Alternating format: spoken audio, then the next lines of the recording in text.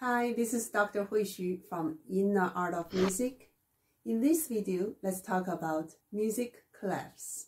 If you're musicians, how can you not know the music clefs? A clef is a musical symbol used to indicate which notes are represented on a musical staff. See this picture? Wow, there's a lot of notes and clefs. Looks complicated. This is a conductor's score, which filled with every part, the woodwinds, brass, and strings. See this picture? Oh, I see. The person standing is the conductor. He must see the same score setting like this one. Yes, you're right. The clefs we use most often are the treble clef and the bass clef. If you see this picture carefully, you may see another kind of clef, the alto clef for viola instrument. This instrument looks like violin, but the size a little bit bigger than violin. Obviously, the arrow point down to the viola instrument. The other side are two violins, and in the middle is the cello. Yes, you're right. The viola is slightly bigger than the violin. There's another music clef we may see in the music score, which is the tenor clef. It looks the same as alto clef, but it located in different place on the musical staff. Oh, the tenor clef is a step up than the alto clef. I see. Do you know what instruments use tenor clef? That I don't know. Cello, bassoon, and trombone. I thought those instruments use bass clef. Yes, the principal clef for these instruments is the bass clef. But when they read higher notes, the tenor clef will be easier for them to read because of less ledger lines. Sounds complicated again. See this picture? Let me see it. I think I understand it. The tenor clef C is on the top second line. The same note C for the bass clef is on ledger line above the music stuff. If you read tenor clef C, D, E, F, they are on music stuff. Same notes on bass clef, they are all on the ledger lines. If you read higher notes in bass clef, it will be more ledger lines. Definitely, the tenor clef is easier to read in this case, but I'm not good at reading tenor clef. It's okay because you don't play cello, bassoon, or trombone. Otherwise, you have to learn it. I'm glad I'm a pianist. Oh, wait, what's that? Are these music clefs as well? Yes, these percussion clefs are for unpitched instruments, just to tap the rhythm. How interesting!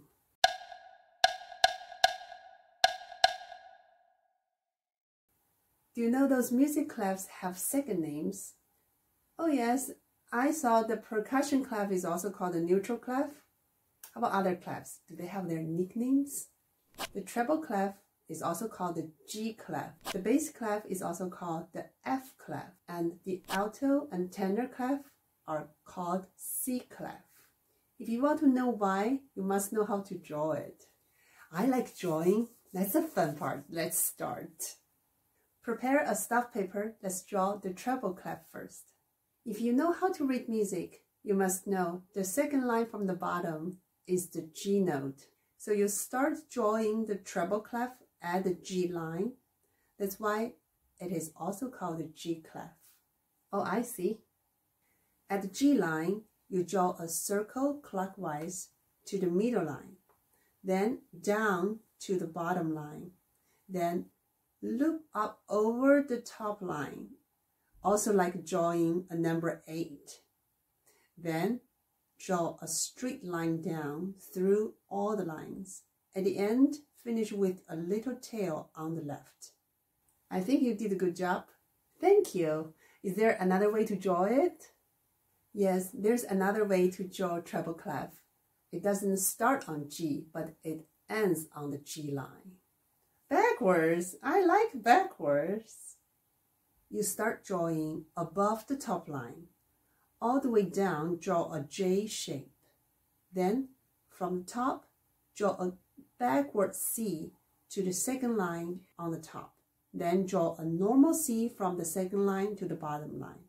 Then draw a circle anti-clockwise until the third line and end on G line. I think you did a good job on both treble clefs. Thank you. Now I would like to know how to draw the bass clef and why it's called F clef. Am I a good student? Keep asking questions? Yes, you're a very good student. I'm so glad to teach you. When we draw a bass clef, we start at the second line on the staff. As we know, that is the F note line. Now you understand why bass clef is also called F clef. Oh, I see. You draw a dot on the second line, then draw a circular motion wrong to the right hand side all the way to the bottom line. Then we draw two dots, one in the top space and another one in the next space down. That's it. Oh, that's easy. How about the alto and tenor clef? Why they call the C clef? How to draw them. This is the alto clef. Here is a little point. It points to the middle line. So the middle line note is the C for alto clef. So the alto clef is also called the C clef on the third line. Same thing for tenor clef. This points to the fourth line. So the fourth line note is the C note for the tenor clef. And the tenor clef is also called the C clef on the fourth line. Understand, so how to draw them. You draw a thick line and follow by a thin line. Then draw the small arrow points to the middle line. Then draw a backward C on the top and another one on the bottom. Same thing for tenor clef. The only thing is different is you start drawing above the top line and stop on the second line on the bottom.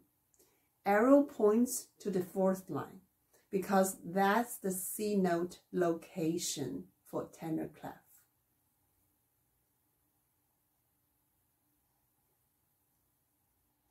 Thanks for watching. If you have any questions, don't forget to leave comments below.